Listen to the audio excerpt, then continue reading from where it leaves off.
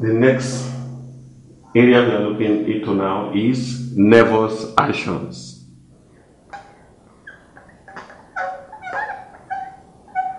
Nervous actions.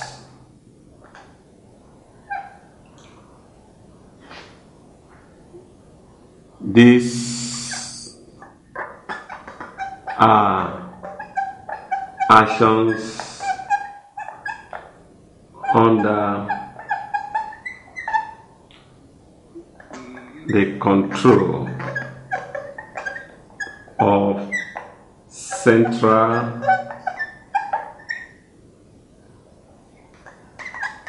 nervous system and autonomic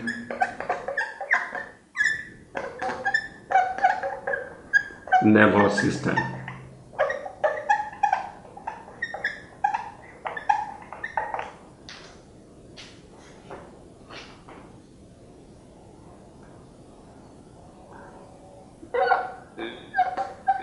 These actions are divided into one. Voluntary. Actions two. Involuntary. Actions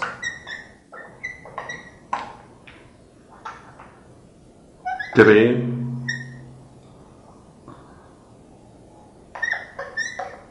Reflexes. And four.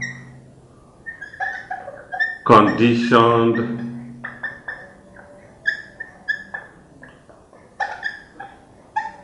Reflexes